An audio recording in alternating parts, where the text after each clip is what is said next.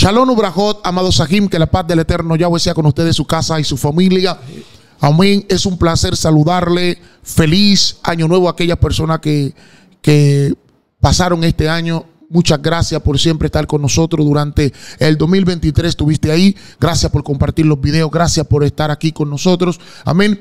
Eh, nuestros hermanos de acá, desde el Ministerio de Oración. Amén. Cada uno de ustedes, gracias por estar con nosotros en la oración. Seguimos con las enseñanzas y la oración. Si usted quiere ser parte, háganos saber, por favor. Recuerde, si va a estar en la enseñanza y la oración, tiene que estar activa en el grupo. El grupo no es para personas que no estén activos, sino para personas que sí estén activos. Si usted no va a orar, no, no entre porque oramos a las 3 de la mañana. Si no va a orar, por lo menos tiene que estar en los estudios.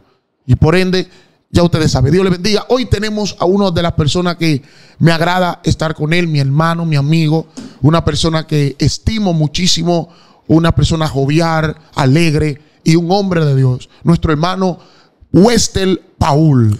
Dios le bendiga, Dios le guarde en este precioso día. Aquí acompañando a mi hermano y amigo evangelista, el pastor José Heredia. Un placer, así que por favor, los que están en este canal, síganlo. Suscríbase a este canal, active la campanita de notificación y dele me gusta al video, porque los me gusta lo que hacen es que comparten el video. Así que Dios le bendiga. Tenemos un tema poderoso y es la función del Espíritu Santo. Amén.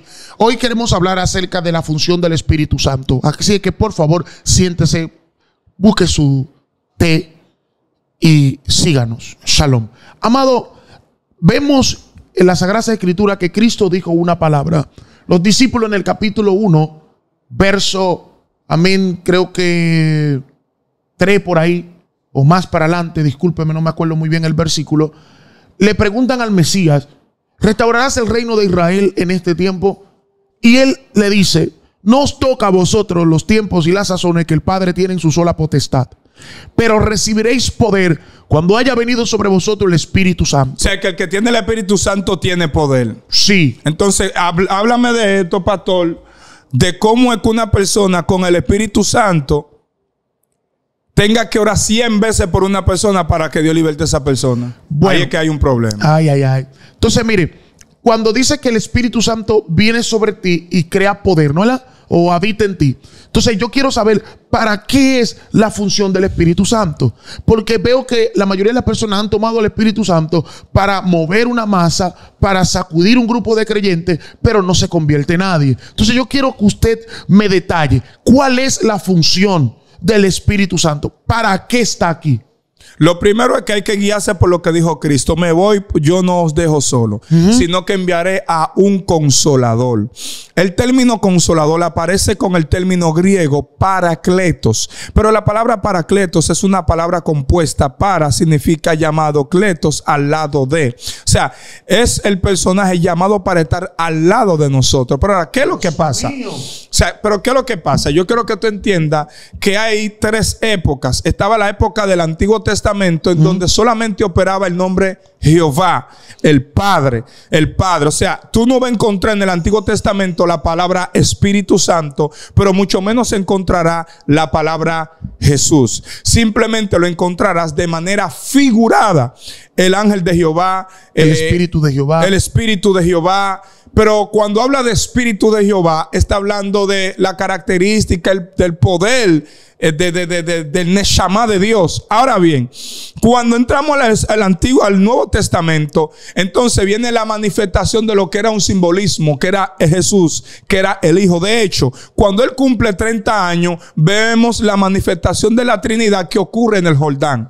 El Padre habla desde el cielo diciendo, este es mi Hijo amado. Entonces el Espíritu Santo en simbolismo de paloma. Oye, ahí entra el simbolismo del Espíritu Santo en forma de paloma. Ahora, ¿dónde se materializa el Espíritu Santo? Cuando el Padre, cuando el, perdón, el Hijo asciende al cielo y Él nos deja el Paracletos, nos deja el Espíritu Santo. Ahora, ese que es llamado para estar al lado de nosotros, tiene o sufre antropo, antropopotismo, que son las lenguajes sentimentales para que el ser humano puede entender a Dios. Por ejemplo, cuando dice que, eh, que no contristéis al Espíritu Santo, porque el Espíritu Santo se contricta, se aparta. Aquí la palabra contrictar aparece con el término griego lupeo. ¿Mm? Entonces, lupeo significa llevar luto. Es decir, cuando un pecador se arrepiente, hay fiesta. Pero entonces cuando una persona peca, hay velorio. Santo. O sea, que hay personas, que hay personas que tienen un, tienen eh, un funeral constante en su vida por la constante eh, eh, caída en la naturaleza, la práctica de pecado. Por eso Santo. Juan no se equivoca. En primera de Juan capítulo 3 versículo 8, él dice que el que practica el pecado es del diablo. Porque malo no tanto es el pecado. Lo que, lo que hace daño del pecado es usted permanecer en él. Santo. Cuando usted permanece en el pecado, por ejemplo, una persona usa droga hoy y sale, no le hace daño. Daño te hace cuando usted permanece en la droga, porque ahí es que empieza a deteriorar tu sencilla, los dientes, el cráneo empieza a calcomer tus dientes. El crack se mete allá dentro de tus huesos y empiezas a sufrir debilidad, a tener cansancio porque por el humo tus pulmones se cansan. Y eso es por la cantidad de tiempo que usted permanece en aquello. Por eso es que dice, todo en exceso hace, daño. O sea, todo en exceso. Cuando dice todo que en exceso hace daño, lo único que si usted lo tiene a Dios en exceso, no te hace daño. Santo. Estamos aquí. Ahora, el punto que quiero traerle a ese bello público de este canal José Heredia Oficial. Esto es una tremenda bendición que usted tiene que sentarse, digerirlo. Toma un ayuno antes de ver este video, porque este video es para usted, es para la edificación de su vida. Escuche esto. El Espíritu Santo que está llamado para tal. Jesús dijo, he aquí yo estaré con vosotros y en vosotros. Porque hay gente que el Espíritu Santo está con ellos, pero no dentro de ellos. Santo. Juan capítulo, perdón, Romanos capítulo 8, verso 1. Ninguna condenación hay. para los que están en Cristo Jesús. Pero entonces él especifica, aquí hay algo gramatical y bonito. Él hace una especificación. Los que no andan conforme. O sea, tú puedes estar en Cristo Jesús y andar conforme a la carne. Santo. Uf. Porque entonces, Romano aquí, Pablo lo que le está diciendo a los romanos, que hay dos clases de creyentes. Un creyente que anda conforme a la carne y un creyente que anda conforme al espíritu. Dice, los que no andan conforme a la carne, sino conforme al espíritu. Más para abajito, unos versículos más para abajo dice, mas vosotros no vivís según la carne, sino según el espíritu.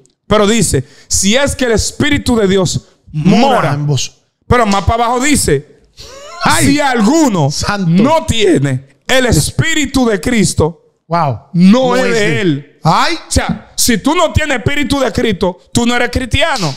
Vemos ataques en estos últimos días en las redes sociales en contra de cristianos, personas que aparentemente, José Heredia, aparentan tener a Cristo. Sí. Pero cuando dice, si alguno no tiene, es que Acuérdate que Jesús dijo, en tu mano encomiendo mi espíritu. O sea, ya el espíritu de Dios estaba encomendado al Padre. Ese espíritu que estaba encomendado al Padre no era el espíritu literal. Está hablando aquí de una característica, de una actuación, vivir conforme a Cristo.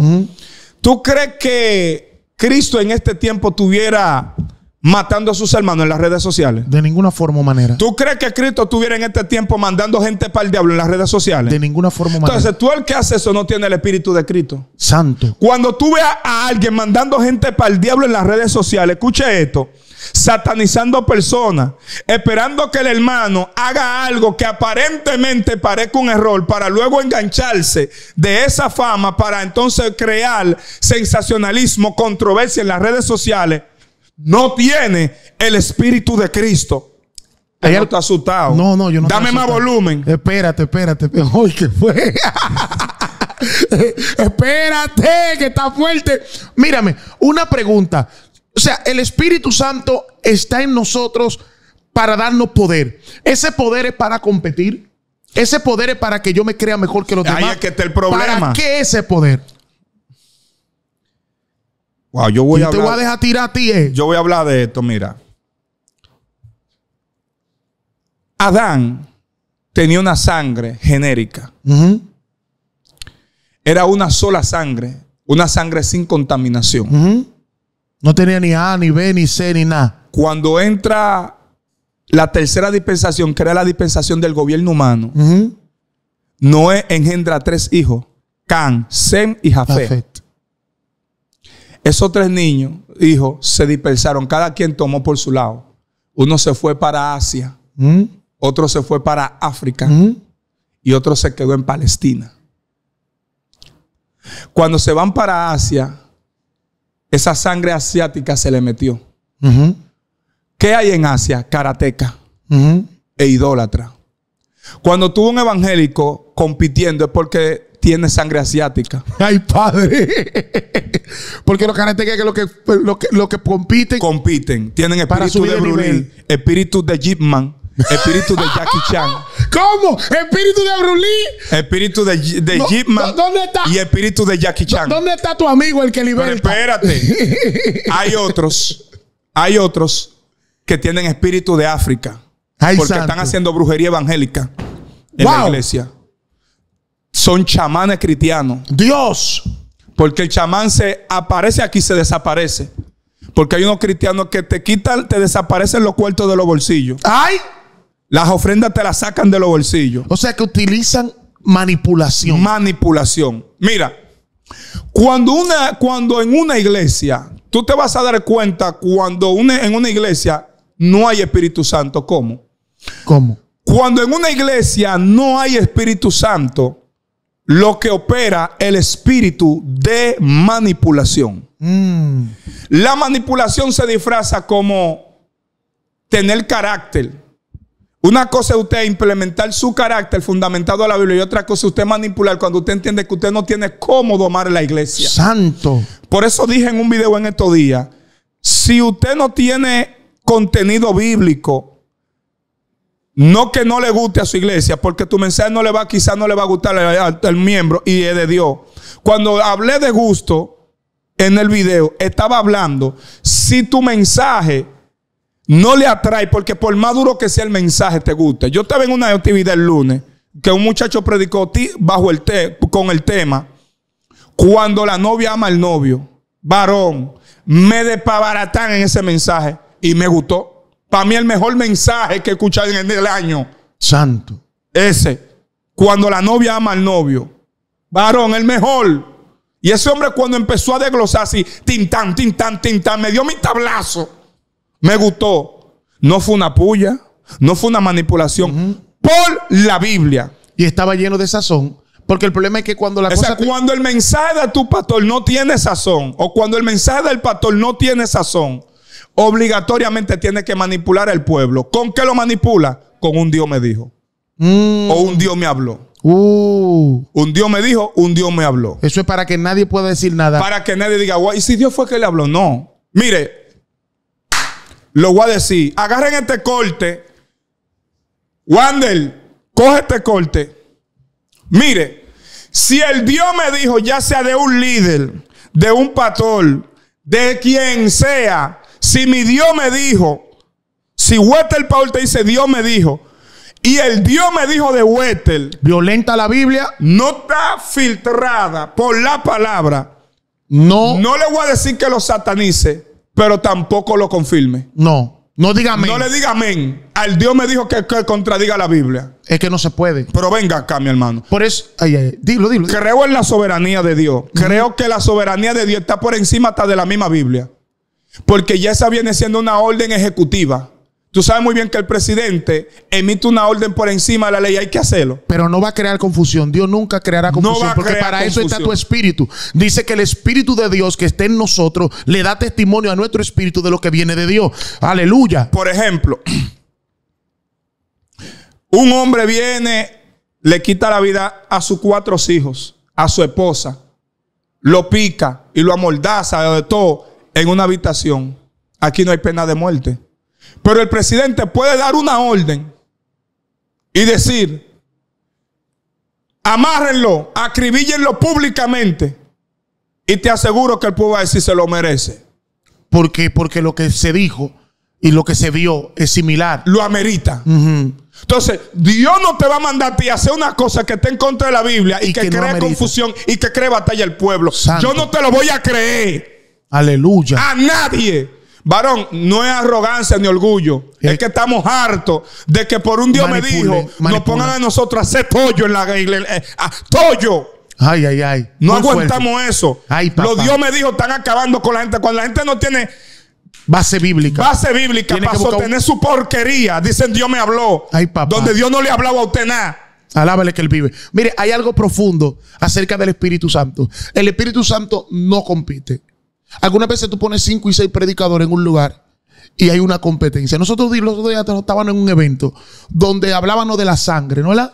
Y ese evento donde estábamos los otros días, todos hablamos el mismo tema, nadie se creyó la película y fue algo tan bueno y tan hermoso porque se manifestó el Espíritu Santo, fue algo tan lindo desde el primer predicador hasta el último, porque el Espíritu Santo no trae competencia. Entonces, otra cosa también, ¿cómo una persona me va a decir a mí que tiene el Espíritu Santo y que está lleno del Espíritu Santo, pero no tiene, no da fruto?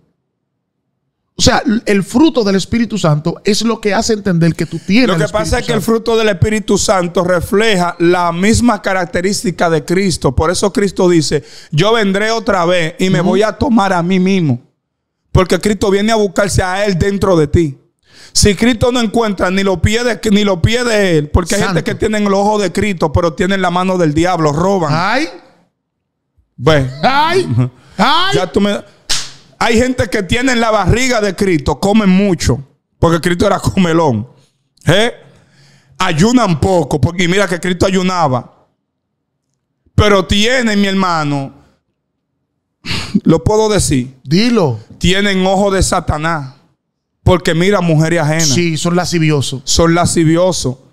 Hay otros que tienen corazón de Dios y tienen boca de diablo. Ay, padre. Aunque no creo mucho eso, porque Sí, lo no de la abundancia eso. del corazón. Habla la boca. Habla la boca. No, es que Cuando usted ve una gente irrespetuosa, faltando respeto, mandando gente para el diablo, que, que se creen el santo ellos, amado, es que están endemoniados. Tienen a Satanás, no tienen el Espíritu Santo, hablan lengua mecánica, porque esa es otra. La lengua mecánica se ha convertido en la manipulación número uno de hoy en día. Porque la gente tiene miedo de, de enfrentar y decir que eso no es de Dios.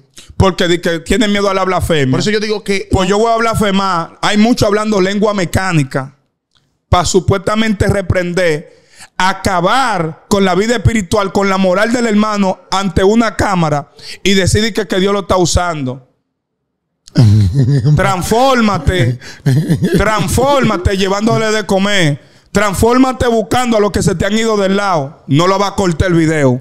varón, deja tu mueca. No lo va a cortar. tú- este hombre siempre quiere meterme en No lío lo va a cortar. Estamos hablando del Espíritu Santo. El Espíritu Santo, Vamos es que el Espíritu Santo también te en contra de toda esa porquería Pero de la escu- gente tuya. Escuche, escuche, estamos hablando del Espíritu Santo. Se va a cortar.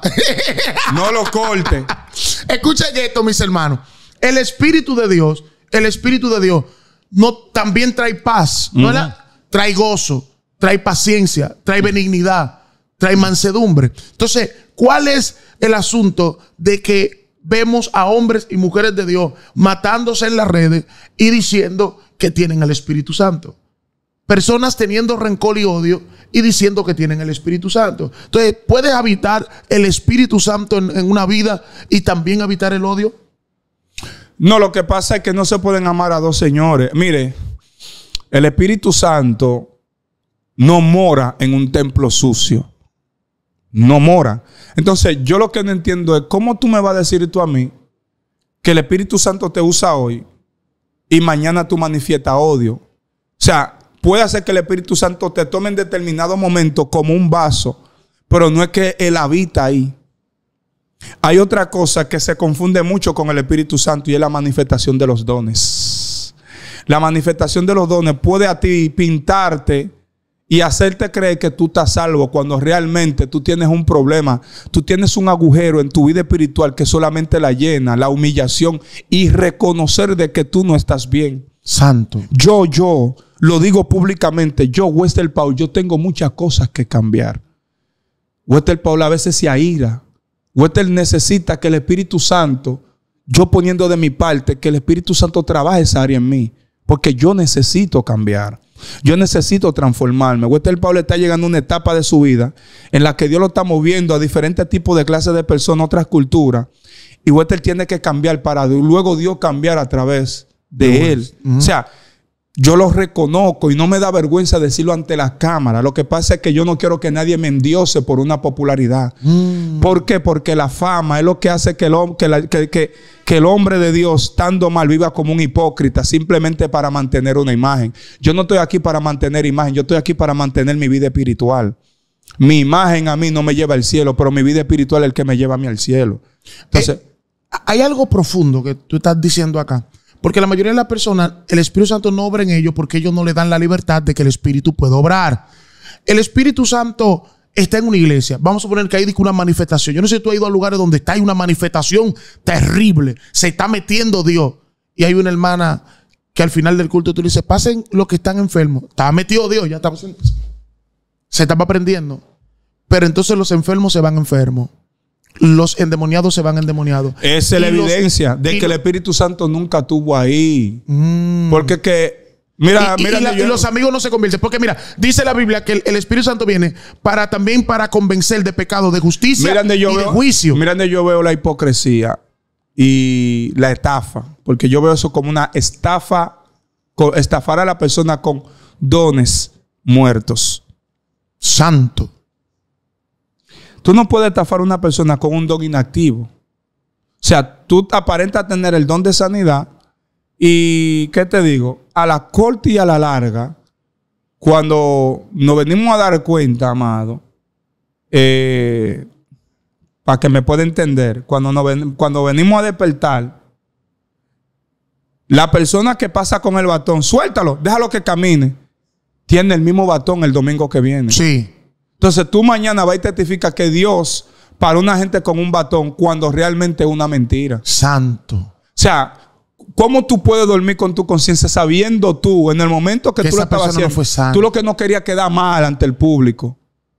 Y hay personas que vienen caminando de que con el batón, coja, que se le ve que está de barata, que está haciendo una, un esfuerzo. Yo vi un video de un tipo en una silla de ruedas que lo querían obligar a caminar. No podía caminar. Usted no hizo el milagro. Siéntese. Dese tranquilo. Predique el evangelio. Mejor que se salven. Manito, hay gente que Dios que lo tiene tuyo, que no un demonio, no el diablo, nada de eso. Que la única forma que pueden estar en Cristo es así. Varón, que la única. Yo conozco una silla de ruedas que si estuviera caminando, estuviera atracando todavía. Y ahora mismo es cristiano, creo que está para Italia, tiene un centro. Dios lo tiene así. Y le han hecho más de 60 mil promesas que va a caminar. Y es Dios, manito, que lo tiene tuyo. Hay gente, mi hermano, pobre porque Dios lo quiere pobre. Y me van a, me van a querer matar por esto. porque el día en que se enriquezca se van a morir. Varón, el día, varón, hay gente que no se van a salvar con los mil. Dios tiene que mantenerlo con 200. Por eso que cuando consiguen los mil, tienen por impulso gastar los 800. Porque eh, eh, eh, la línea de Dios es que tú te mantengas con los 200. Desde que tienen 300 ya se sienten descarriados. Con 500 se descarrean. ¿Por qué? Porque tienen un problema con el espíritu de la avaricia. Tienen un problema con esa hora de la carne, de la avaricia. El, el amante al dinero, mi hermano. Hay gente que cambian. Wow, si tengo un millón, mi vida, claro que tu vida va a cambiar porque no es lo mismo. no es lo mismo comer arroz blanco con huevo que usted metese a comerse un caviar, un bité. No es lo mismo, mi hermano, comerse unos camarones al ajillo, unos sushi bien preparados por, una, por una, un cocinero japonés. No es lo mismo. Yo te voy a hacer una pregunta, Wester, de toda la que te he hecho. ¿Cómo un cristiano, como un cristiano, un cómo tú te das cuenta que una persona es realmente evangelista? No predicador, sino evangelista. Mira, la pregunta está buena. Que, gracias por esa pregunta. Mira. Se ha creado una confusión en las iglesias de que a todo el mundo le llaman evangelista, a todo el que predica le llaman evangelista.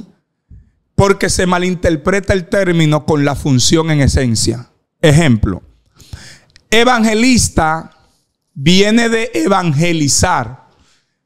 Todo el que evangeliza se puede llamar alguien que evangeliza o un evangelista.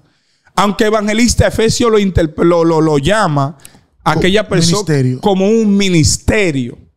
Todos somos llamados a predicador, pero no todos somos evangelistas. Ejemplo, ¿cuál es la característica de un evangelista en función? Evangelista en función, que es el ministerio que está más activo, porque el ministerio profético no está activo. Lo que andan dos o tres gente profetizando y luego publicando videos después que pasa la cosa. El amigo mío de Villamella no tiene alto con lo mismo. Oye esto. Te voy a poner un ejemplo. Amado, primer punto, que un evangelista que no tiene paciencia y no tiene doctrina no sirve para evangelizar. Pablo lo confirma en Timoteo, cuando le dice que predique, reprenda, redalgulla, exhorta, pero luego dice con paciencia y doctrina. ¿Por qué menciona paciencia y doctrina? Porque tú vas a corregir, vas a reprender, vas a redalguir, pero para esas tres cosas cumplirse, tú tienes que tener paciencia, porque yo te voy a reprender algo, pero yo tengo que tener paciencia para tú acatarte a mi reprensión. Pero antes de yo reprender, yo tengo que tener doctrina para darte una buena reprensión con doctrina. Vemos muchos supuestamente evangelistas reprendiendo y no tienen doctrina. No tienen conocimiento, porque para usted tener doctrina tiene que tener conocimiento. Una de las características principales de un evangelista es tener conocimiento pleno, porque la Biblia tiene tres connotaciones. La Biblia fueron escritos por alrededor de 39 a 40 hombres y se tomaron de 1500 a 2000 antes de Cristo, 1600 años antes de Cristo. ¿Qué pasa? Que la Biblia tiene revelación, inspiración e iluminación. Son tres cosas diferentes. Si no existiera la revelación en la Biblia del Génesis, no existiera porque Moisés no estaba ahí cuando Moisés, cuando Dios creó a Adán. Sí. Esa parte fue por revelación. Entonces Dios inspira a esos hombres, a esos 40 hombres de diferentes tipos de nacionalidades, de diferentes tipos de cultura, y cuando lo inspira, lo inspiran con lo mismo. ¿Mm? O sea, le pone la inspiración. Ahora entonces, cuando viene la iluminación? Hay cosas que tú lees y Dios es que te ilumina para tú saber que eso estaba ahí. Es así. El evangelista tiene que tener revelación de la palabra, iluminación de la palabra y tiene que tener inspiración. Inspirarte para tener un sermón, inspirarte para formalizar un- una buena exhortación. Porque exhortar no es insultar, exhortar es tú animar al público. O sea, cuando una persona se le muere un familiar, tú no puedes ir encima de esa persona a matarlo. Por tu culpa se murió. No, está de luto. Ánimo, te acompaño en tu sentimiento. Tú sabes que tú eres un hombre de Dios. Está bien, se murió tu papá, pero estamos aquí para reemplazar ese amor que te, que te, te- te va a hacer falta. Eso se llama exhortar. Santo. Exhortar es usted decirle a la persona que está mal, sabemos que lo hiciste mal, porque en el Apocalipsis Dios, mediante una carta, exhortaba, yo conozco tus obras. O sea, Dios no tiró por el piso sus virtudes. Dios no resaltó su defecto, ni, no, o sea, Él resaltó su defecto, pero de último, le dijo, mira, tú eres bueno en esto, tú tienes paciencia, tú tienes servicio. Mira, el único punto que yo tengo contigo, mira, yo siento a Dios hablando esto. Santo. El único punto que yo Wow, tengo hay en tu gente que lo han contra, estado matando. ¿eh? el único punto que yo tengo en tu contra es que hay una mujer ahí que se llama Jezabel. Se dice que es profetiza. El problema es que ella enseña y seduce a los siervos a fornicar y a comer cosas sacrificadas a los ídolos. Ve, ahora, el que venza de ustedes, o sea, Dios no le está diciendo a la gente, mira, todo usted del diablo se lo va a llevar. Como hay muchos haciendo eso. ¿Tú me entiendes? Entonces, esa es una de las características. Tener paciencia, tener doctrina, tener empatía con el pueblo. Por eso Pablo dice, usted con espíritu de mansedumbre, corríjalo. No sea que tú también seas tentado en lo mismo. Santo. ¿Por qué tú crees que hay personas que se descarrean de la sana doctrina y no vuelven más a esa sana doctrina? Porque fue que le pintaron un evangelio más de apariencia y no de fundamento doctrinal en cuanto a lo que es Jesús y los apóstoles. Porque muchos sana doctrina se están descarriando, se están yendo para la iglesia mundana, se están yendo para la iglesia liberal. ¿Por qué razón? Porque le fundamentaron solamente para menospreciar al que, que, que no viste igual que él. se están descarriando también porque ellos se pintan como el más santo, sabiendo que dentro de esa ropa hay un ser humano que peca, que está sujeto Santo, a pasiones. Santo, santo Dios. Entonces, te enseñan a tener dominio propio sobre una vestimenta y no tener sobre, dominio propio sobre tu carne. Santo. ¿De qué te sirve tener dominio propio sobre una vestimenta y no tener dominio propio sobre la masturbación? No te enseñaron a tener dominio propio a no chulear la sierva. No Uh. te enseñaron a tener dominio propio sobre aquello que de tiempo en tiempo te visita. No te enseñaron, sierva, a tener dominio propio para no coquetear con tu novia a las 3 de la mañana. ¿De qué te sirve cargar una Gracias, ropa? Jesús. Hello. Cristo te enseñó, Cristo enseñó y dijo, mira, la vestimenta es bonita. Ahora hay un problema dentro de ustedes, hay un sepulcro blanqueado. Ustedes tienen un cadáver ahí podrido. Pablo que Pablo, que era un santurión, Pablo dijo, el pecado que mora en mí. Porque dentro de Pablo había un ser humano que tenía un aguijón. ¿Eh? Gracias, que él no Jesús. hacía lo que él quería. O sea, su aguijón, su carne, lo ponía a hacer lo contrario a lo que Dios quería hacer. Santo. Y él mismo dijo, para que no me enorgullezca. Ya, ya, ya. Esto, esto, eh, Shanda esto, tiene que sacarle un amén. O sea, Gracias, Espíritu Pablo lo que, me imagino a Pablo diciendo, para que Gracias, para no enorgullecerme como el santurión, Dios permitió un aguijón, una debilidad en mi carne. Gracias, Dios. Aleluya. O sea, no somos los santos aquí, mis amados. Estamos llega- tratando de llegar al varón perfecto, a la perfección. Y podemos ser santos. Amén. Podemos ser santos. Gracias. Porque Jesús no nos va a pedir algo que no podamos hacer, porque entonces él sería un injusto. Porque él dijo, sed. Aquí esta palabra se te aparece en un modo im- imperativo. Sed perfecto como vuestro Padre es, perfecto. Varón, no hay. Pero tenemos que correr a ese, al varón perfecto. Así es. Pero no podemos ser perfectos. Santo Dios. O sea, exponiendo la debilidad del otro y sus virtudes sepultándola. Hay que, hay, hay que resaltar. Vamos a resaltar las virtudes. Y mira, uno. Está bien, fulano es un hijo del diablo, pero ¿y qué tiene el de bueno? Dice Cristo viene por lo menos. Mire, hay algo, hay algo que nosotros como pastores, tú me estás diciendo esto y yo como pastor lo estoy analizando. Claro. Hay algo que nosotros como pastores cuando corregimos un miembro, tenemos que resaltar la parte buena de ese miembro, hacerle entender a ese miembro de que vale la pena, amén, servir a Cristo, de que vale la pena serle fiel a Dios. Hermano, mire, eh, la mayoría de nosotros vivimos una vida eh, apartada de muchas cosas, pero hay muchas cosas en las cuales somos débiles. Y hay otra cosa que, que quiero hacerle entender. El Espíritu Santo nos guiará a toda luz y a toda justicia. Y el término luz dice, lámpara a mis pies es su palabra y lumbrera mi camino. El Espíritu Santo dice que la espada del Espíritu es la palabra. Hermano, ¿cómo así? Que nada que venga del Espíritu Santo va a violentar la palabra porque la palabra es su espada. Y es a través de su espada que Él va a atacar cualquier tipo de mal. El Espíritu Santo todo lo que hará, lo hará de acuerdo a la espada. ¿Y cuál es la espada? La palabra de Dios. ¿Usted quiere saber que una persona está llena del Espíritu o una iglesia del Espíritu Santo está ahí? Es porque predican, viven y exhortan y caminan de acuerdo a la palabra de Dios. Si la palabra de Dios está en segundo plano, el Espíritu Santo no está ahí, porque es la espada del Espíritu. Si la competencia en esa congregación es lo que se usa, entonces el Espíritu Santo no está ahí, porque que el Espíritu Santo no compite, sino que viene que a crear unidad, a crear paz, a crear mansedumbre, a crear amor. Entonces, pastores, Tratemos de cuidar a los miembros que tengamos. Tratemos de enseñarle a la iglesia a no maldecir a su hermano. Tratemos de que las hermanos dejemos esto y, y dejemos esta tiradera, dejemos diferentes tipos de cosas. Tratemos de estar en paz, de entrar en coinonía con nuestros hermanos.